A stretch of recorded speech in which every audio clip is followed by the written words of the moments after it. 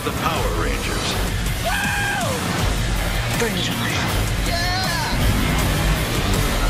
It's just a hologram, like a video game. Not a video game. Aye, aye, aye. Power Rangers, rated PG-13, is theaters March 24th.